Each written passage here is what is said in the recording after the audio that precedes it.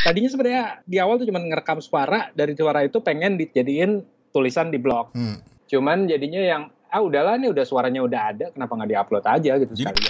2004 gue udah nekat bikin podcast karena gue pikir ini Indonesia budaya lisan kok kita budaya baca nggak terlalu tapi budaya lisan kuat salah satu podcast yang gue tertarik itu dia cuman bikin kontennya tuh sebulan sekali Hmm. ibaratnya lo jadi kayak nungguin majalah Yap. tiap bulan majalah baru keluar bikin orang yang dengerin podcastnya ngerasa eh, waktu yang mereka pakai buat dengerin podcast nggak kebuang percuma Oke. Kapan Boy Avianto kembali bikin podcast? ah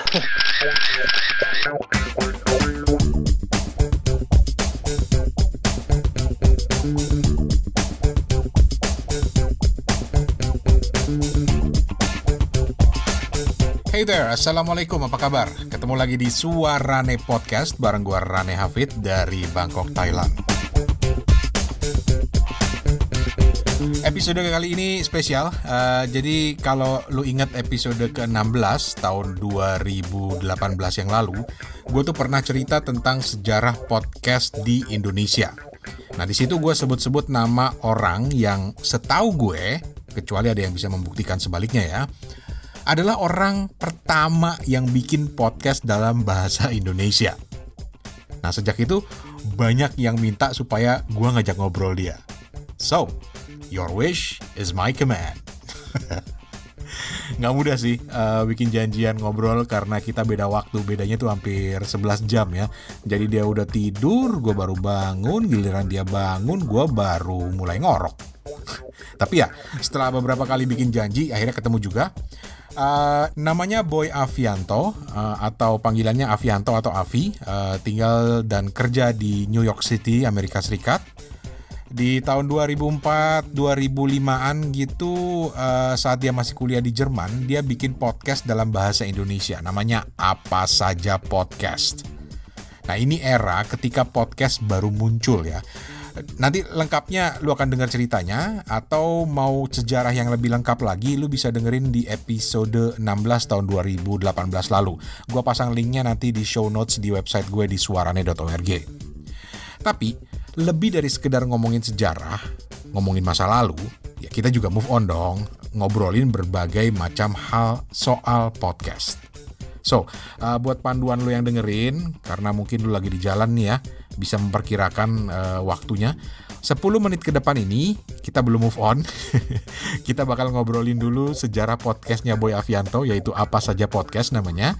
Ntar gue cuplikin sedikit contoh podcastnya. Terus uh, juga dia masih dengerin podcast apa enggak. Nanti kita akan dengerin ceritanya. Nah, di segmen kedua, 15 menit lah kurang lebih durasinya, uh, kita akan mulai move on. kita akan ngobrolin tentang podcast di Indonesia, podcast di Amerika, apa yang membuat dia tertarik dengerin podcast asal Indonesia, terus uh, ada contoh-contoh podcast keren yang menarik buat dia. Men, lu harus dengerin ini kalau lu podcaster, karena ini bisa jadi inspirasi banget. Termasuk juga uh, satu podcast keren yang terbit sebulan sekali di Amerika sana di New York tepatnya yang gila ini keren banget. Lo dengerin terus nanti lu cari podcastnya lu dengerin lagi. Mudah-mudahan bisa jadi inspirasi ya. Dan eh, di segmen ketiga segmen terakhir sekitar 7 menit lah ya panjangnya gua mau nembak si Om Avianto ini dengan pertanyaan terpenting dari lo semua. Kapan dia mau bikin podcast lagi yang jelas buat gue pribadi ini episode yang menarik dan mudah-mudahan juga menarik buat lo. Gue banyak dapat informasi, banyak dapat inspirasi dan ya semoga lo juga begitu. So, kawan-kawan, I give you Boy Avianto.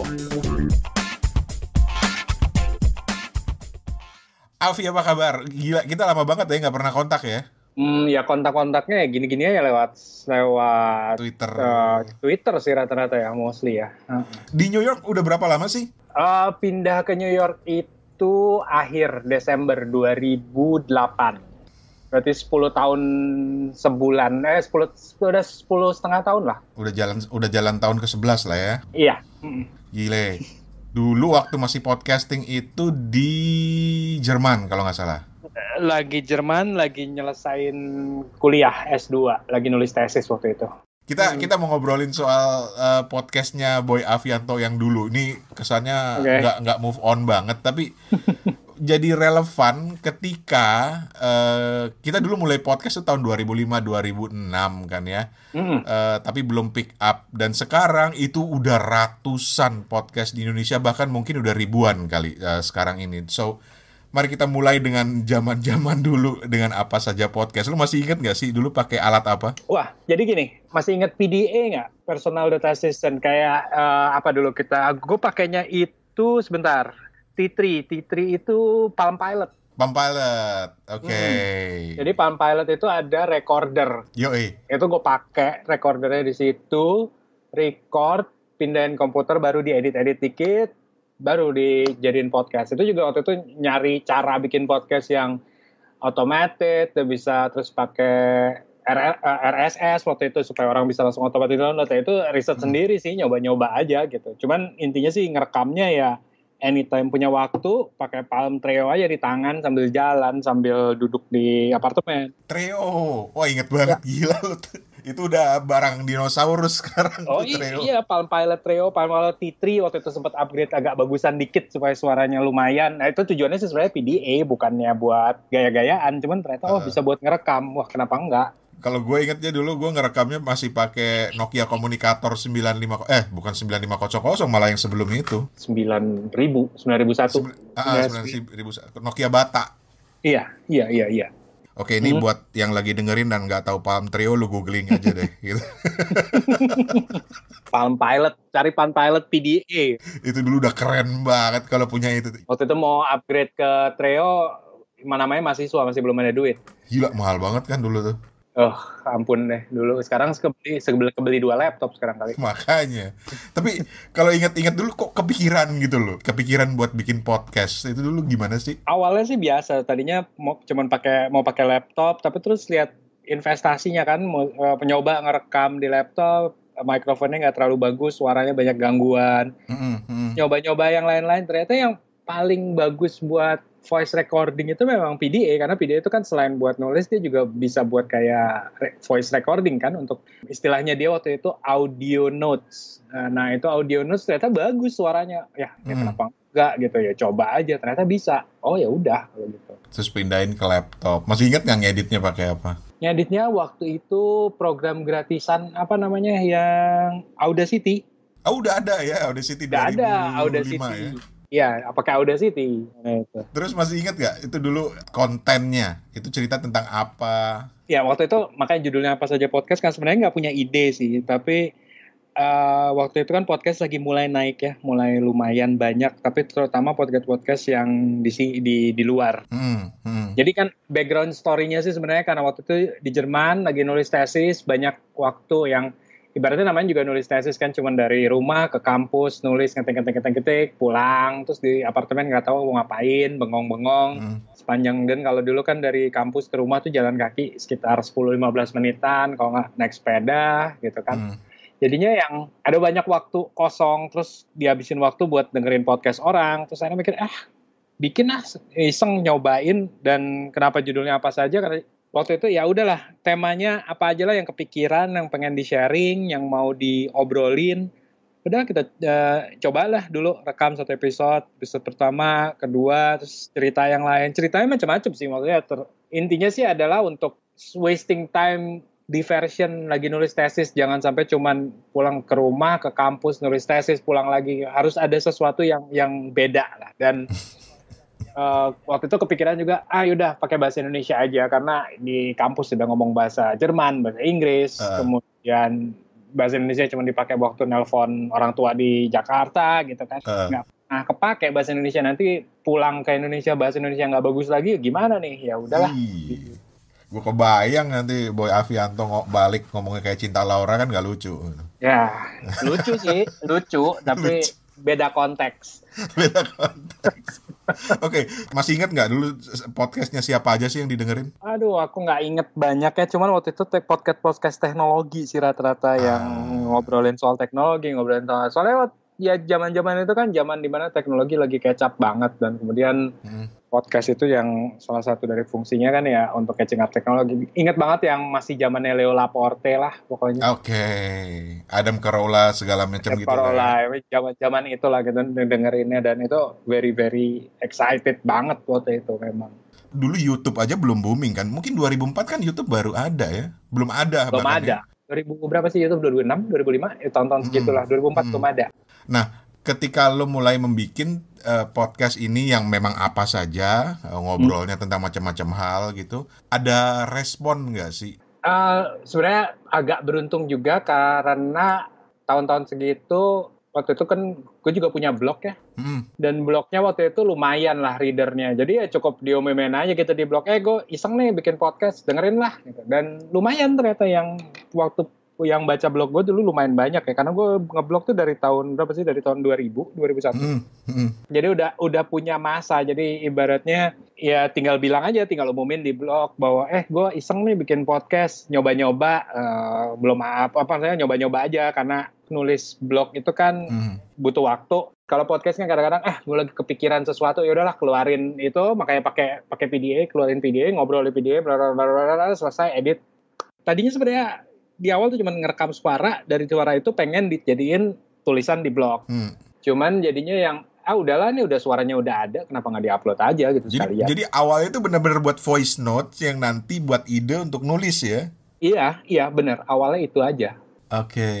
Terus kalau nggak salah lu sempat connect dengan beberapa teman di Indonesia yang punya podcast, tapi itu beberapa setahun atau dua tahun kemudian gitu kalau nggak salah. Correct me if I'm wrong.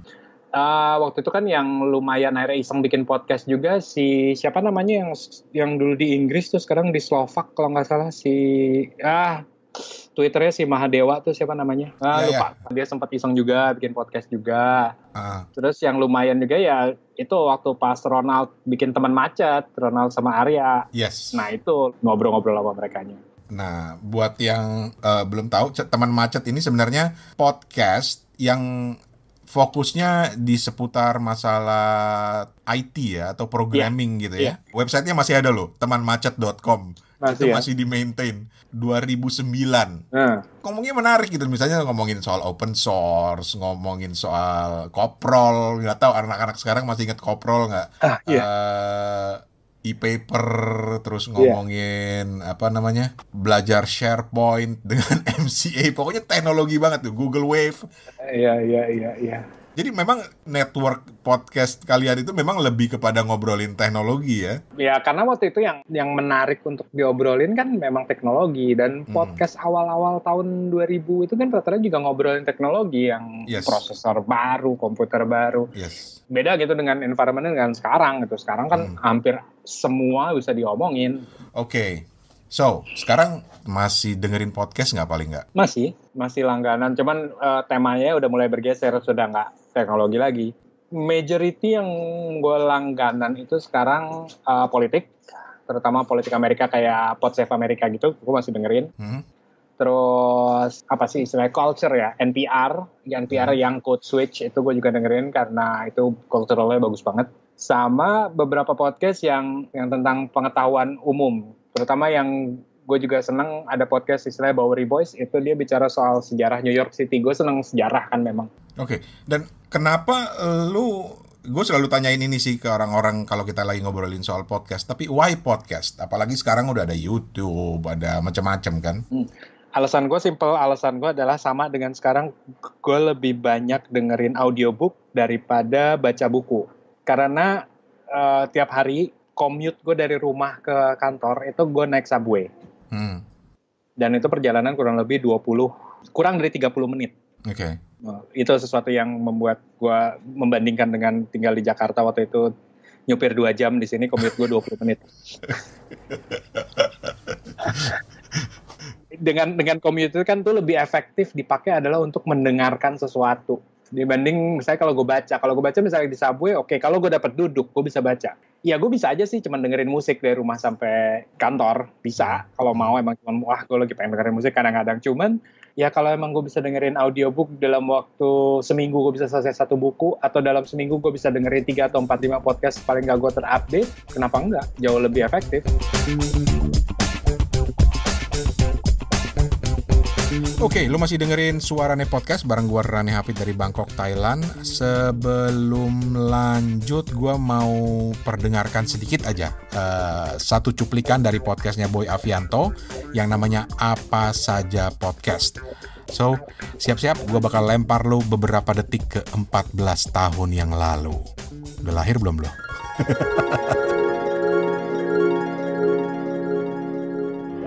kembali Avianto di sini dalam acara Apa Saja Podcast edisi kelima 11 Juli 2005. Apa Saja Podcast kali ini akan membahas mengenai bagaimana cara melakukan sesuatu yang hebat atau mencapai yang terbaik. Ya, yeah, itu dia. Pendek aja sih. Tapi kebayang nggak? Itu direkam dengan PDA atau uh, Personal Digital Assistant atau POM Digital Assistant yang sekarang ini udah menjelma jadi ponsel pintar yang ada di tangan lo dengan harga yang jauh lebih murah. Dan buat gue itu bukti bahwa nggak usah ngebayangin harus nyiapin alat yang canggih dulu uh, studio rekaman mungkin dan lain sebagainya pakai handphone yang ada di tangan lo. Ntar gue akan uh, bikin satu episode video untuk uh, berbagi tentang bagaimana lo bisa bikin podcast dari handphone lo ditunggu aja. Um, ya jadi melenceng. Sampai di mana tadi? Oh ya. Um, apa saja podcast ini masih bisa lo lihat jejak digitalnya di apa saja podcast.blogspot.com meskipun audionya udah nggak bisa diakses. Tapi oke okay lah, sekarang kita move on. 15 menit ke depan gue mau ngajak Om Avi buat sharing tentang podcast dan ini menarik karena dia masih dengerin podcast dan dia punya banyak referensi menarik soal uh, podcast yang keren-keren gitu ya. Pokoknya kalau lu podcaster, jangan lewatin bagian yang berikut ini.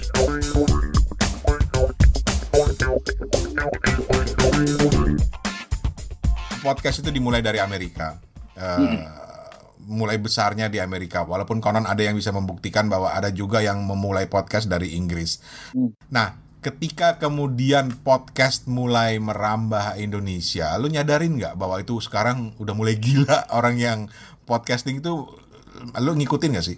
Uh, yang Indonesia terus terang nggak terlalu ngikutin sih, bahkan hampir nggak tahu siapa aja yang yang sekarang podcast karena mungkin ini aja sih pengen tertarik untuk ikutin Indonesia cuman newsbeat aja sih gue lebih seneng baca jadi pengen pengen tahu apa cepet gitu di Indonesia oh hari ini gue pengen tahu ini ini ini, ini. oh ya udah hmm. karena terus terang perbedaan antara baca dan podcast itu kan pace kan kalau yep. misalnya baca itu gue bisa lima sumber lima sumber berita gue baca semua selesai dalam kurang dari sejam hmm. sebenarnya kalau podcast kan gue mesti dedikasiin waktu berapa lama ini podcast 30 menit 20 menit hmm. satu jam gitu bahkan dan tadi gue bilang gue dengerinnya kan beats jadi dalam artian karena commute gue cuma 30 menit kalau podcastnya sejam ya berarti gue ngedengerinnya dalam sehari karena gue dengerin pas pergi dan pas pulang kemungkinan gue akan dengerin hari ketiga karena belum tentu selesai juga. Ya. Nah, untuk kayak gitu kan harus eh, sebuah topik yang gue dengerinnya mesti yang bukan karena gue dari Indonesia tuh yang so far sih yang gue tertarik bacanya adalah berita gitu. Ada apa sih ngejar hmm. berita bukan bukan tentang diskusi politiknya di gimana atau diskusi sosialnya gimana. Mungkin someday kalau misalnya ada sesuatu yang sangat menarik yang membuat gue tertarik untuk dengerin diskusinya, uh. mungkin akan dengerin. Tapi sampai sejauh ini yang pengen terima dari Indonesia mostly news tentang kondisi di Indonesia ya. Iya, iya. Kalau kalau kalau soal yang di sini sih diskusinya menarik. Terus terang yang diskusi itu uh, bukan sekedar berita jadi karena diskusi karena yang kenapa strategi politiknya begini? Kenapa strateginya begini? Terutama yang gue seneng yang itu yang gue bilang NPR code switch itu dia bukan masalah politik lebih karena kultur kan? Hmm. istilah code switch itu adalah di mana bahwa minoritas di Amerika ini akan selalu mengadakan yang namanya code switch pada saat berbicara dengan mayoritas. Jadi kalau istilah code switch adalah kalau kita dengan keluarga kita akan berbeda gaya ngomongnya kita dengan pada saat di komunitas mayoritas. Ya. Dan itu diskusinya menarik karena dia bicara soal kultur tentang musik seperti kayak musik labamba, musik Latin itu kenapa kemudian dan uh, kemarin ini lagi bicara mengenai uh, Native American tentang uh, orang-orang native di Amerika ini kayak gimana sesuatu yang yang menarik karena pluralistik ya. Jadi bicara soal minoritas di kalangan mayoritas dan gue di sini kan jadi minoritas gitu. Kalau di hmm. Indonesia gue gak tertarik karena gue mayoritas, yep. peduli amat gitu kan. Hmm. Uh, ya kayak gitu. Jadi emang topiknya adalah topik yang relevan dengan kondisi gue sekarang di sini Nah, untuk yang di Indonesia kadang-kadang, ya mungkin karena gue juga udah 10 tahun, bukan yang gue bilang nggak relevan, cuman ya yang gue butuhin Indonesia sekarang ya news gitu, bukan diskusi di Indonesia gimana kondisi politik kemarin kayak kemarin pemilu pemilu Hmm, gimana begini hmm. begini begini ya gue di sini pemilu gue jadi panitia pemilu gue udah udah udah ngalamin gitu jadi Oke, balik ke ke scene podcast di Indonesia. Eh, Gue nggak tahu lu nyadarin apa enggak, tetapi dulu waktu mulai-mulai 2005, sementara gue tuh baru mulai du- sekitar 2006, itu audiensnya nggak banyak. ya Kemudian sekarang pick up gila-gilaan gitu loh, bahkan eh, banyak youtuber yang juga sudah mulai lari ke situ. Bahkan yang terakhir yang lumayan menghebohkan adalah eh, foundernya Gojek juga udah mulai bikin podcast, misalnya seperti itu. Apa sih men- menurut lu yang membuat kenapa baru 2-3 tahun terakhir ini eh, podcast pick up di Indonesia? I know you, you- udah udah 10 tahun di eh, hmm, hmm. di luar, tetapi mungkin bisa mencoba melihat membandingkan kenapa podcast pick up cepat sekali di Amerika sementara di Indonesia mungkin baru tiga tahun terakhir kali. Hmm, alasan pertama sih kalau gue bilang bandwidth Oke. Indonesia internet kencengnya ya udah lumayan lah 5 5 6 tahun yang lalu 10 tahun yang lalu juga sebenarnya udah lumayan kenceng. Cuman untuk wasting bandwidth don- podcast itu nggak kecil loh filenya. Eh, dibanding kita download teks gitu ya jauh lebih cepat download teks daripada download file. Yap. begitu begitu bandwidth mulai besar dan orang tidak merasa sulit untuk download file 10, 20, 30, 40, 50 mega, medium-medium yang butuh file besar seperti video dan podcast akan lebih naik. Dan kenapa cenderung ke podcast? Podcast itu media media tengah banget gitu. Dia nggak seboros video, tapi dia juga nggak seirit teks. Tapi paling nggak eh, dia jauh lebih nggak tahu ya mungkin karena Indonesia juga sebenarnya kita kan kuatnya budaya lisan kan Yap. Kita budaya lisan kita kuat sekali. Cuman waktu itu kenapa satu alasan juga 2004 gue udah nekat bikin podcast karena gue pikir ini Indonesia budaya lisan kok. Kita budaya baca nggak terlalu tapi budaya lisan kuat. Cuman kendalanya ternyata memang di bandwidth. Nggak semua orang punya kemampuan untuk download file audio. Mhm, mhm. ya mungkin karena gue ngeliatnya dari sisi teknologi ya karena gue kan memang teknologis gitu intinya. Jadi alasan gue bandwidth sisanya adalah ya karena kita budaya lisan. Dan bandwidth budaya lisan ketemu ya booming lah. Exactly. Dan orang Indonesia itu kan tukang ngobrol banget kan. oh iya banget. Pulang kantor masih ngopi ngobrol-ngobrol. Lo kebayang nggak? Ini kantor kurang apa?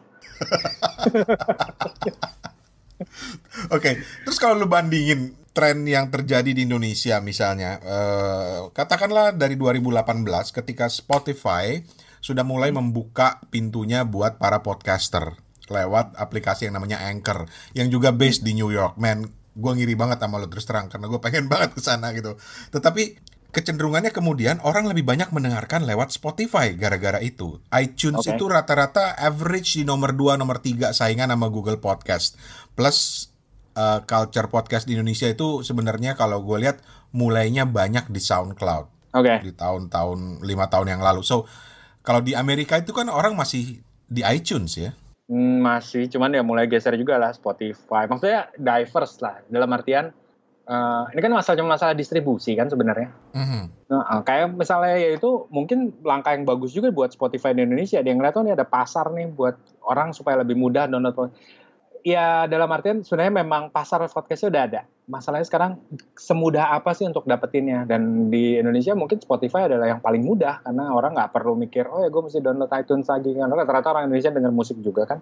Mhm.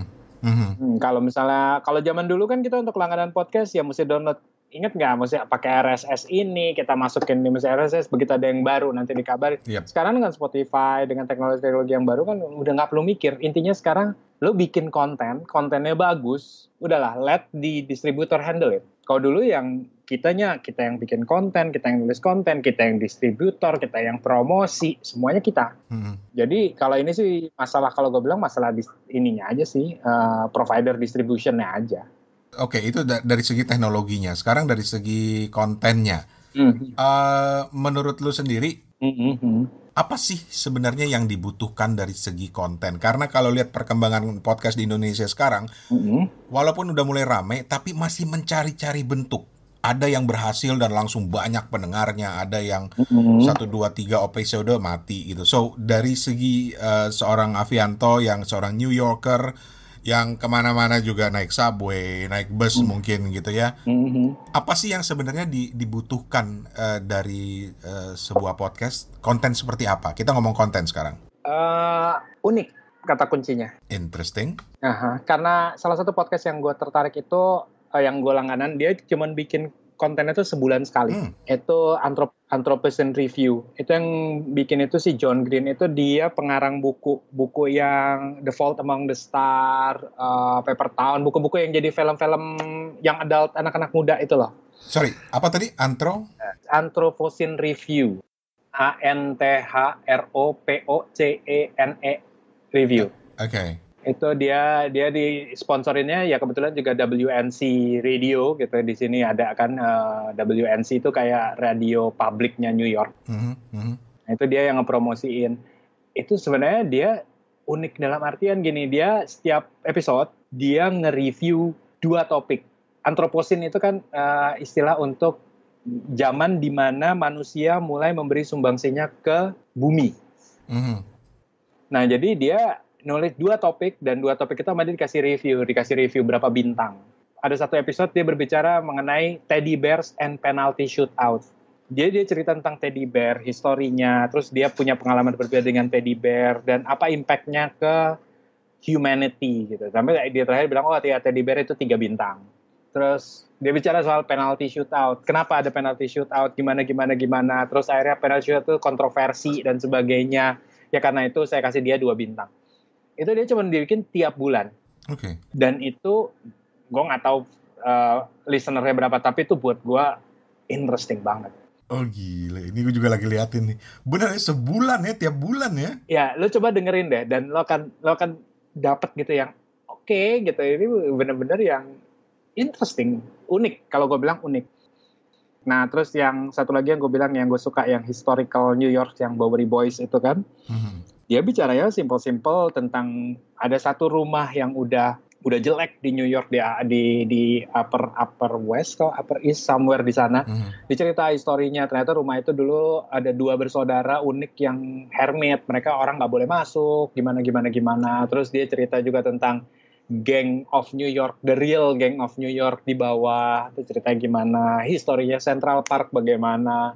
Terus ada satu stop, maksudnya New York ini kan rich banget historinya ya Yap.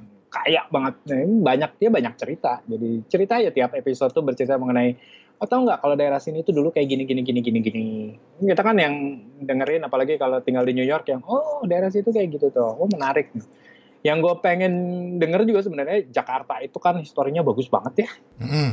Tuh kalau ada aja yang bikin podcast histori Jakarta mulai ya dulu di daerah Fatahillah itu dipakai buat apa gantung orang. Itu daerah sebelah mana ya? Historinya aja gitu cerita ya. Oh, satu episode setengah jam sejam. Mhm. bercerita nanti begitu cerita lagi pindah tentang bandar apa kemudian pindah lagi tentang museum gajah ya itu itu bakal ya itu pri- pribadi ya menurut gue itu bakal menarik banget. Itu kalau kita bicara soal sejarah Oke, nih sorry break dulu. Gue mau shout out dulu nih buat teman-teman sahabat museum nih. Nih Ah.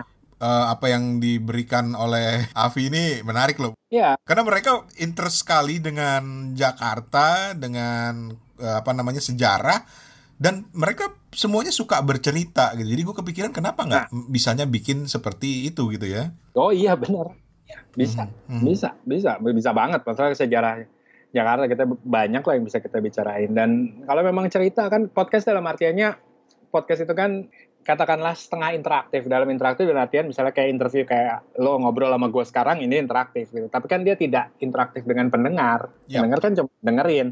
Nggak nggak ada istilahnya podcast kayak zaman dulu radio yang ditelepon minta lagu kan. Kalau Hmm. di podcast ya nggak ada gitu yang direct kayak gitu. Nah itu kan berarti kalau satu arah ya kita bicara soal cerita, kita bicara soal diskusi, diskusi yang menarik yang semua orang, yang walaupun orang nggak bisa ikut partisipasi, tapi orang bisa connect dengan eh, historinya atau dengan interview. Kayak di sini yang sekarang eh, yang gue dengerin yang politik, terutama yang Pod Save America, mereka interview dengan semua 20 orang calon presiden yang dari Demokrat. Itu menarik. Wah gila. 20-20-nya diwawancarain. Maksudnya, Satu-satu per per episode mereka, mereka berusaha untuk dapetin semuanya. wah gila, keren. So far sih mungkin baru sekitar 8 atau 9, tapi still it's, itu itu achievement kalau gue bilang. Wow, oke. Itu salah satu podcast yang Pod sama Amerika itu ya kalau menurut gue salah satu podcast politik yang lumayan karena yang jadi hostnya itu tiga orang dulu bekas itu bekas penulis uh, speechwriter Obama. Ah, Jadi backgroundnya memang udah oke lah kalau gue bilang. gue malah dapat banyak rujukan nih. Tapi balik lagi ke pertanyaan gue tadi. So, tadi udah muncul kata unik. Iya. Kemudian eh, yang gua tangkap dari lu adalah lu lu butuh mendengarkan cerita Iya. gitu ya. Makanya ada soal history segala macem. Iya. Terus kemudian yang gua tangkap lagi mungkin ini Hmm. istilah gue yang serampangan tapi gue selalu bilang podcast tuh harus selalu fungsional dalam artian ada manfaatnya buat lo bukan sekedar ngobrol cekakak cekikik gitu ya Oh iya, tadi kalau misalnya tadi gue bilang semua podcast yang gue kasih contoh adalah yang yang gue bilang pertama anthropocene review, lo jadi tahu sesuatu yang lo nggak tahu sebelumnya gitu. Mhm. Kemudian yang Bowery Boys juga sama, historical. Intinya gini, lo dengerin podcast, lo invest waktu 30 sampai 1 jam sampai satu setengah jam tergantung panjangnya. Setelah lo dengerin, apa yang lo dapet? nice Kalau seandainya lo dengerin podcast dan lo nggak dapet apa-apa dari situ, ya lo berarti lo hanya menghabiskan satu jam untuk dengerin orang lain ngobrol sesuatu yang nggak ada gunanya buat lo. Mendingan gue nonton TV kalau kayak gitu. Nice.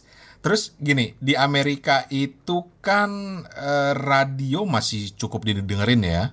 Masih terutama konservatif ya. Oh, terutama dari kalangan konservatif. Iya, Oke. masih radio. Ah. Oke. So, pertanyaan gue berikutnya yang gue penasaran adalah apa menurut lo yang harus atau bisa membedakan antara sebuah acara podcast dengan radio?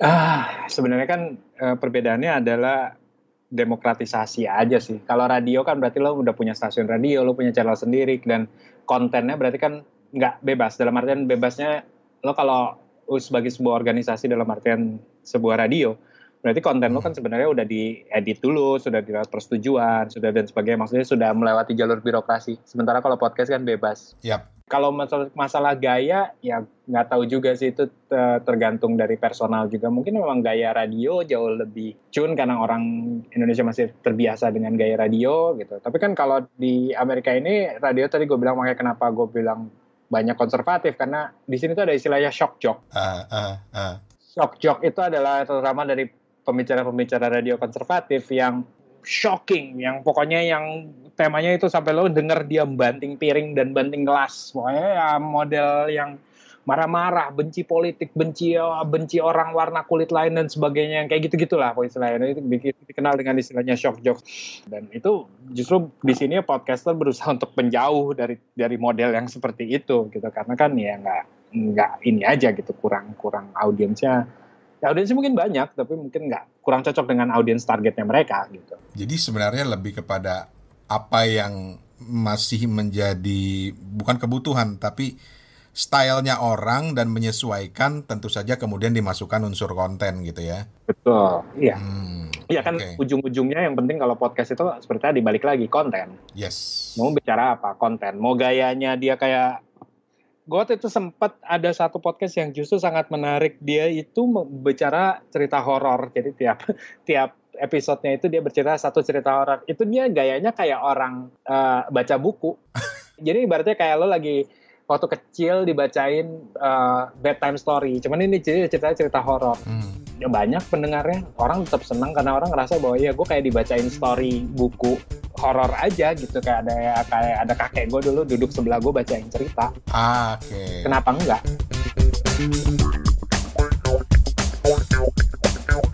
Hey, masih di Suarane Podcast yang ngobrol dengan Boy Avianto, seorang podcaster Indonesia generasi dari 14-15 tahun silam lah.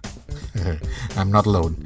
Um, oh ya, lo yang mau kontak atau mau tahu lebih jauh tentang Boy Avianto, di bagian penutup nanti kita bakal share akun-akun medsos beliau. Kalau lo mau kepoin silahkan, mau kontak beliau juga silahkan.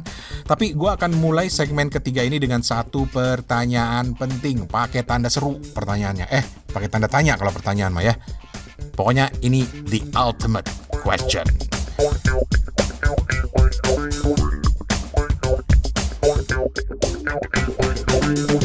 Alright, the ultimate question yang sebenarnya banyak banget ditanyain sama teman-teman gue yang dengerin podcast ini. Hmm. Kapan Boy Avianto kembali bikin podcast?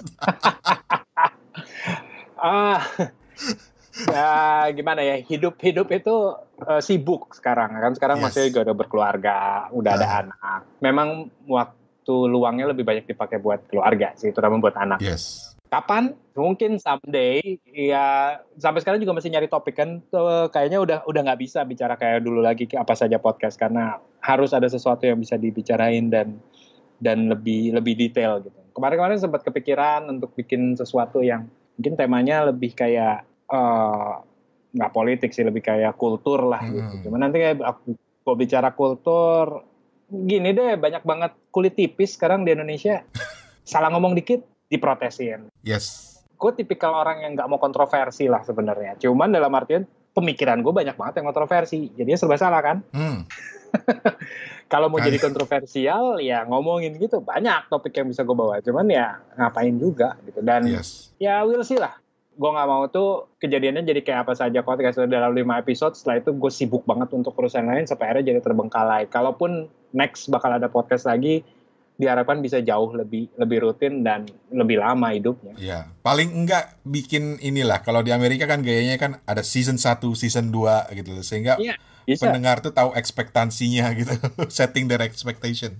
Ya sebenarnya gue tertarik juga tadi yang model si Anthropocene Review tiap Hmm. bulan itu bener banget sih sebenarnya gue berpikiran ya oke tiap bulan akhir bulan gue publish dan itu ya kayak lo nunggu serial TV aja sebenarnya itu itu format yang gue pengen cuman ya itu tadi gue bilang gue masih harus berpikir topik apa yang kira-kira menarik? Dan gue terus terang baru belajar banget nih dari dari eh, obrolan kita bahwa bisa loh podcast itu sebulan sekali asal sesuatu yang layak ditunggu oleh pendengar gitu ya. banget. Ini kan ibaratnya lo jadi kayak nungguin majalah. Yap. tiap bulan majalah baru keluar gitu. Oh ini ya baca artikel tata, tata, tata, oke udah. Mungkin tunggu tunggu bulan depan. Kenapa harus tiap hari? Kenapa harus tiap minggu? Kalau memang topiknya sesuatu yang lo butuh waktu sebulan untuk riset ya kenapa enggak Oke. Gila keren banget. Dapat banyak masukan. Dan gue kebayang ya, ini ini bukan bukan ngomporin atau apa, tapi gue kebayang misalnya eh, kalau gue sebagai orang Indonesia, gue terus terang selalu pengen banyak tahu tentang New York dan gue pengen banyak tahu tentang kehidupan orang Indonesia di New York. Banyak gak sih orang Indonesia di sana? gini aja deh kemarin pas pemilu Hmm.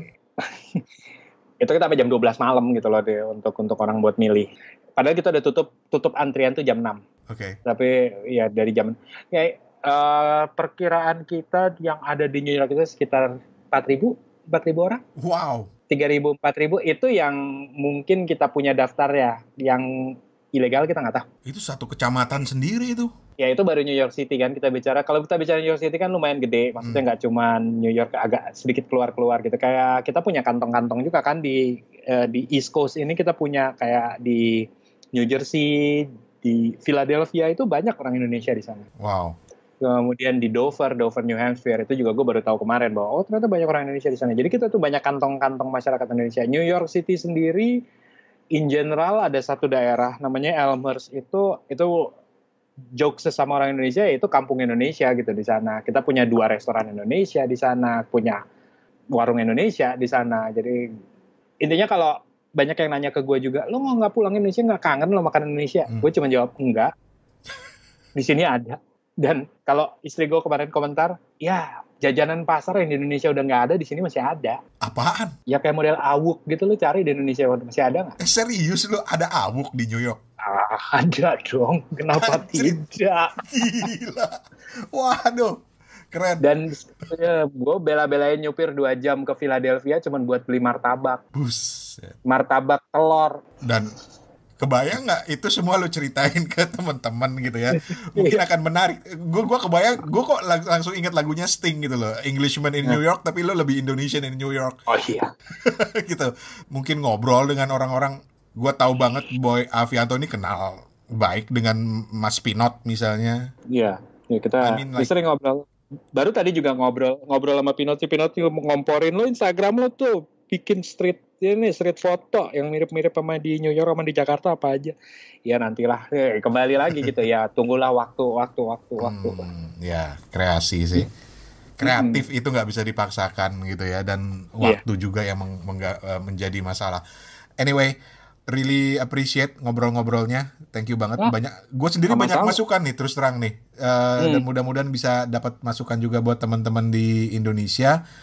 Em, kepada teman-teman yang sedang merintis podcast di Indonesia, Hmm. apa yang menurut lo paling penting untuk dibuat Eh, konten unik itu aja sih konten unik? dan bikin orang yang dengerin podcastnya ngerasa eh, waktu yang mereka pakai buat dengerin podcast nggak kebuang percuma. Oke. Dan itulah yang bisa mem- mungkin membuat seorang Boy Avianto mendengarkan podcast dari Indonesia ya. Iya, iya. Silakan direnungkan buat teman-teman podcaster yang lagi dengerin. Ini mbahnya podcast lo yang ngomong lo. Karena selalu saja ada julukan-julukan seperti itu lo engkongnya podcast mbahnya bilang gua buktiin ada yang lebih senior dari gue di dunia podcast bilang. Oke. Di manakah eksistensi eh, Boy Avianto di media sosial? Kali ada yang mau kepo? Eh, Twitter lebih sering ke Twitter Avianto eh, eh, nama nama gue sendiri. Itu juga gue juga udah lama banget di Twitter dan ya jarang tweet tapi once in a while gue masih ke tweet. Tapi paling gampang dihubungin lewat Twitter. Nih lo aja ngontak gue lewat Twitter kan? Yoi, yoi. paling gampang gue lewat Twitter. Facebook jangan harap karena gue Facebook udah jarang banget.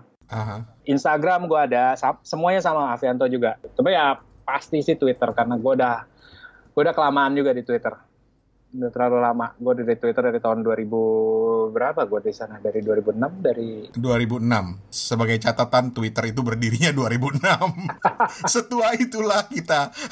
iya iya betul Gue mungkin baru 2007 kali punya Twitter. Jadi gila ya. Menyenangkan dia ada di era-era awal-awal mulai bangkitnya Sosial media. digital media. iya Uh, eh, bener-bener So, that was Boy Avianto, eh, seorang teman lama yang salah satu jajaran orang-orang pertama asal Indonesia yang membuat podcast. So, thank you banget. sama-sama Salam sama keluarga. ya salam juga sama-sama terima kasih udah ada waktunya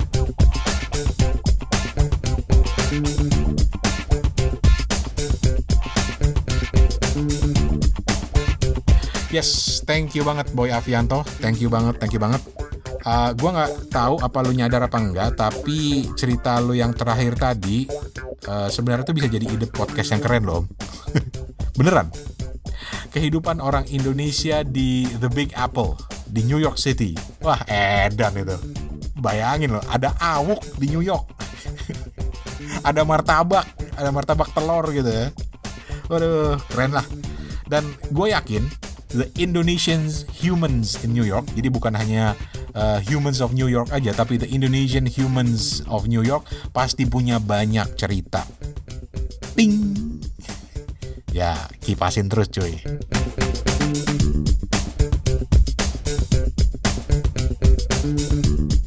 Ya wes, pamit dulu.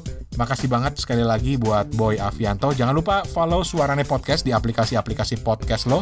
Spotify, Google Podcast, Apple Podcast, SoundCloud, Breaker, Anchor, Pocket Cast, dan lain-lain. Um, update tentang podcast ini dan juga info-info seputar podcast termasuk tips-tips penting buat para podcaster bisa lu lihat di Instagram gue. Alamatnya di Suarane Podcast, jadi satu Suarane Podcast. Uh, websitenya ada di suarane.org, suarane.org. Kalau mau kontak silakan ke suarane@gmail.com, suarane@gmail.com atau kalau mau lu bisa add gue di WhatsApp di 087878505012, 087878505012. Pokoknya gue selalu senang punya teman baru dan gue selalu siap insya Allah untuk sharing tentang podcast buat siapa aja yang dengerin dan berminat untuk punya podcast. So, lo baru aja mendengarkan Suarane Podcast untuk episode kali ini. Dari Bangkok, Thailand, gue Rane Hafid pamit. Kapun kap. Assalamualaikum kap. Permisi.